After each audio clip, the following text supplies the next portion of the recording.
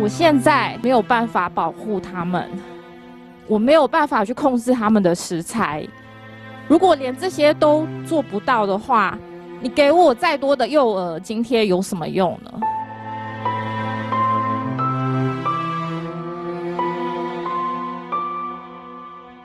我应该是今天所有专家学者里面唯一不是不是专家。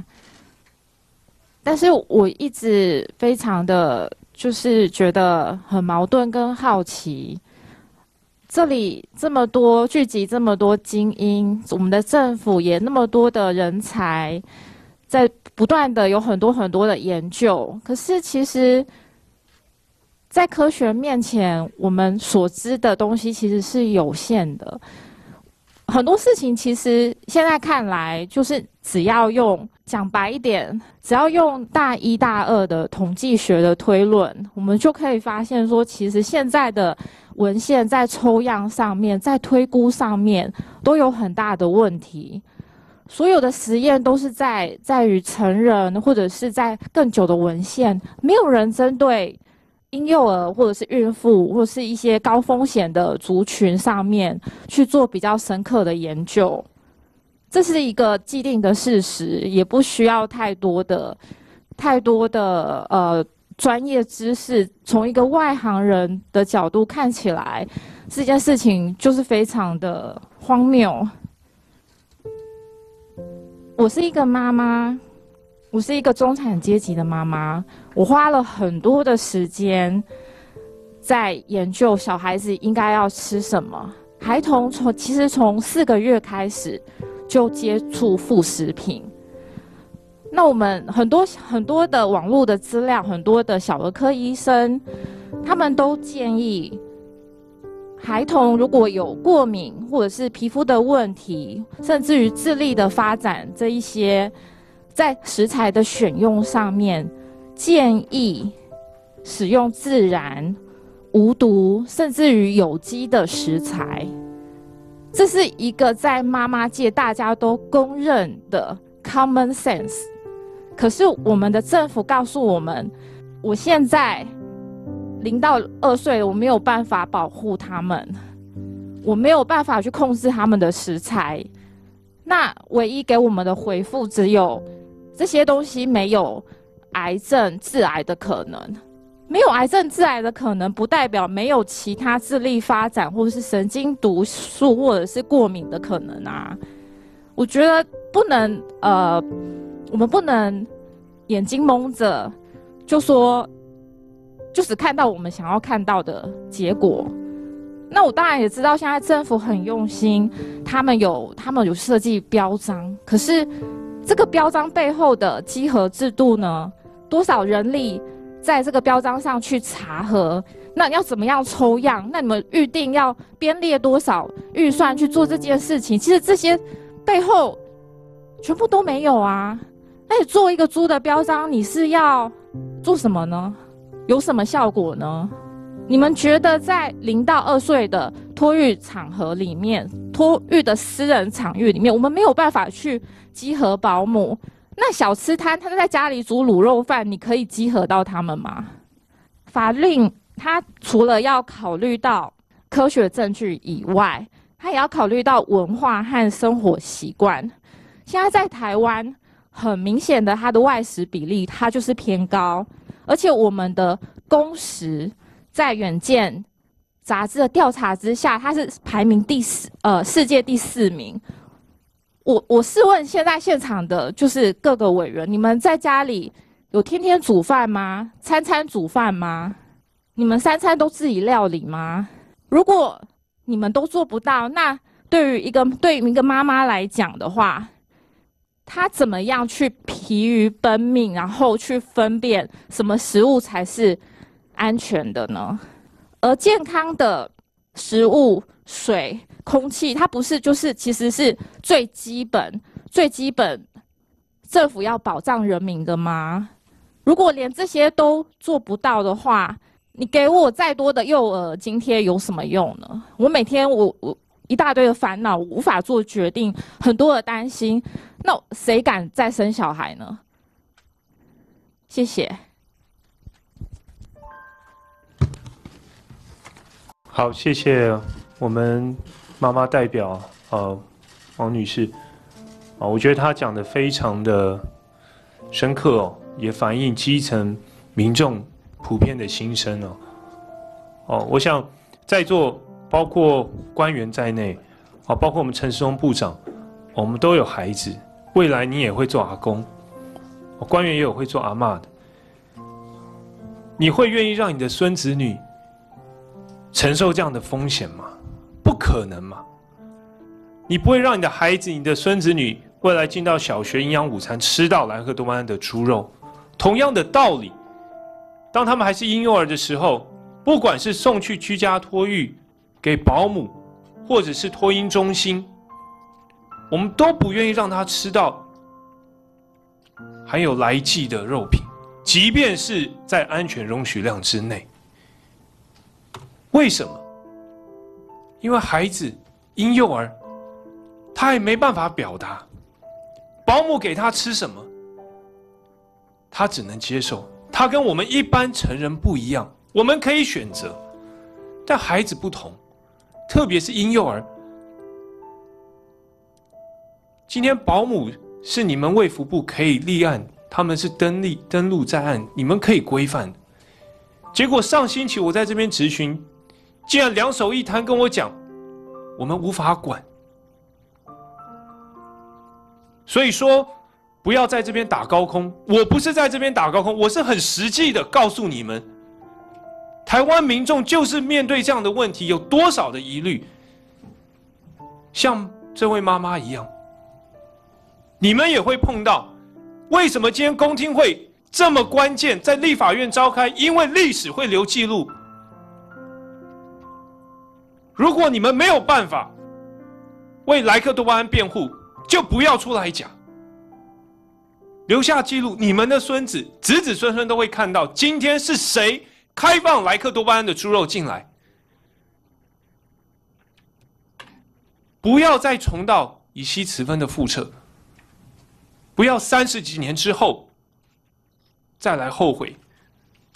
已经告诉你，就是 Elanco 这个公司。在生产乙烯雌酚，现在在生产莱气多莱克多巴胺，为什么？我们现在政府官员从上到下要如此的护航？那我想刚刚听到这位。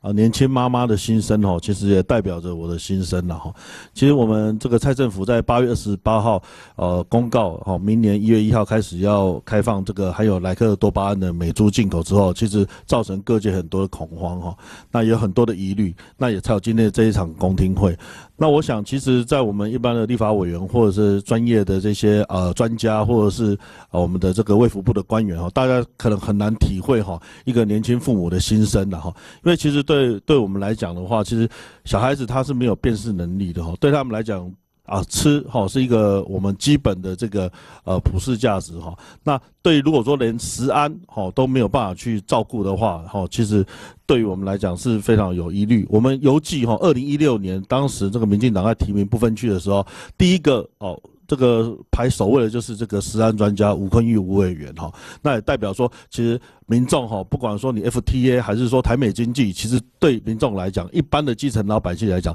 最重要的还是食品安全。好，因此哈，我们民众党哈，民众党团哈，具体哈提出哦两个诉求哈，就是第一，没食安不要来哈，基于粮食安全与国民的健康哈，在国内外各项科学证据仍。具有高度争议的情况下，国内检测机制未有强化的情况，哦，政府不应该贸然开放进口。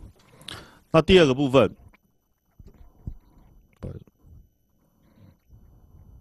第二个部分就是我们认为说有一些高风群，呃，高风险的族群哦，不要来哈。我们民众党团哈未雨绸缪哈，本党将推动相关的修法哈，确保哈高敏感族群哈与机构哈，譬如说高中以下各级学校。哦，坐月子中心、安养中心，哦等等，哦不得使用哦莱猪和美牛哈。那我们也针对这个政府宣布开放莱克多巴胺猪肉的进口哈，对国人健康的影响与危害，哦这个部分我们也做出以下哈五点说明哈。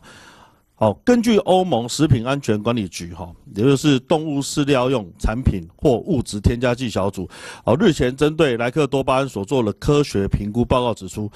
现有的人体实验的数据哈，不可以作为这个计算 ADI，也就是每日容许呃摄取量的基础，也无法哦就此定出最大残留容许量。哦，莱克多巴胺对人体的明显存在啊不确定的风险，我想这个是大家现在最担心的疑虑。那也有多第二点就是有多位专家指出，哈，莱克多巴胺会活化交感神经，也可能会引发心悸、心律不整、心肌缺血等副作用，也会罹患慢性病、心血管疾病者，哈，呃，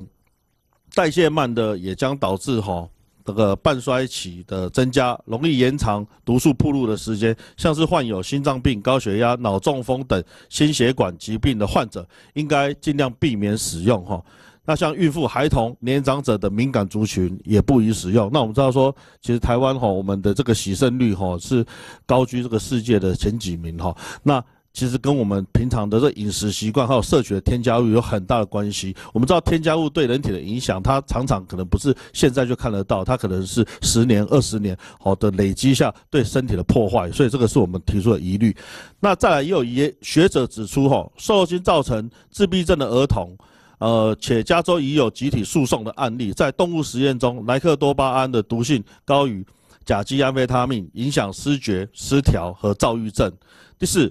政府虽然强调进口美猪美牛将遵照国际食品法，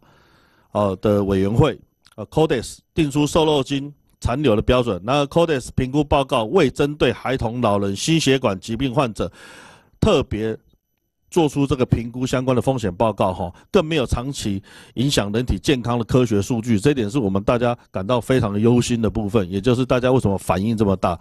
第五，卫福部哦等相关单位应针对相关高风险的族群哦进行流行病学的调查与健康风险的呃完整的研究报告，并且以预警的原则订立保护政策，而在未进行完整风险评估前，应采有呃应采有害推定的原则。因此，本席也分别提出了长期照顾服务法第二十二条修正草案。老人福利法第二十条及第三十四条修正草案，以及身心障碍者权益保障法的第六十二条及六十三条，哦，以确保相关照护机构哈禁用使用含有乙型受体素，也就是我们俗称的莱克多巴胺的食材，保障老人及身心障碍者的健康发展。好，以上谢谢。好，呃，主席、各位委员，还有与会的来宾，那。呃，我个人是好执行这个二零一二年跟这个二零一九年，呃，莱克多巴胺好肉品莱克多巴胺的健康风险评估的执行者。那我也跟各位报告，刚刚蔡碧如委员也提到，二零一二年跟二零一九年有什么不一样？二零一二年只执行牛肉的铺路剂量。所以它只有执行牛肉的铺路评估，那在二零一九年加入了好猪肉的铺路评估，好，所以两个其实是不一样的。那缘起的部分，我想我就这些标准前面大概都把都讲过，我就把它跳过去。好，那事实上我们做风险评估的目的，事实上是要针对一般的族群，还有高铺路的族群。那一般的族群里面要分不同的年龄层跟性别，所以刚。大家很关心零到三岁的族群，我们已经在我们的评估报告里面的高铺路族群是坐月子的妇女，那也在我们这个评估报告里面已经评估了。好，那我们四个步骤里面，我们先要做危害鉴鉴定，所以我们去 review 了。好，这个世界各国做好这个对 r e c t o a m i n 它的一个它的一个危害的一个鉴定。好，那在动物里面，它事实上是可以很快的经由尿液或排泄物代谢在人体的血液里面的半衰期大概四个小时，好，那这个是呃加法评估的人类心脏功能，好，详细的部分我就不再不再跟各位说明，刚刚一前面几位毒理学都已经讲过了。那日本好，他在评估之后，它也是根据各种遗传的毒性，还有慢性毒性跟致癌性的合并试验，它判定。好 r e c t o b a m i n 它不具有遗传的毒性跟致癌性。那判定它一个化学物质有没有致癌性，在好我们定 m i 也是一个很重要考量的标准。好，那欧盟呢，好也指出来，好它的在猪、牛跟兽式还有人类的代谢其实是非常类似的。那这里边我要提出来哈，特别提出来跟大家做报告，就是呃，有一有一些这个呃医师或者是其他人员提出来说，呃，在子宫肌瘤的部分，好，尤其是频发肌瘤的产生的部分，它是不是有致癌性的风险？那事实上哈。呃，我们在毒理学上的试验，我们会先做 in vitro 的试验，也就体外的试验。我们可能用细胞来做试验。接下来我们会做 in vivo 的试验，是动物铺路的试验，然后再做长长期的动物实验。那这个是 Jacfa 的评估。Jacfa 评估里面，它的 conclusion 里面就说得很清楚，就是在体外的试验确实是一个弱的自突变性的物质，但是在 in vivo 的实验里面，它其实是。没有好自突变性或没有致癌性，那到长期的动物实验里面也没有看到，所以好，所以他们认为，好这个 rectovamin 呢，它基本上不去评估基因 induced 的这个 tumor，好基因毒性所 induced 的 tumor。那欧盟的评估，好这个 FIDAP 好 panel 它的评估里面也是一样，它评估说 rectovamin not mutagenic and is unlikely to present a carcinogenic risk to consumer，也就是说，它整体的评估之后，它其实是没有致癌性的。所以在这样子的一个危害鉴定底下，我们只做非致癌的一个评估。好，好，那接下来危害特征的描述，ADI 值的定定，好，我我我跟大家说明一下，中华民国在定 ADI 做一个 microgram per kg body weight per day，有几个重要的考量。第一个。我们希望用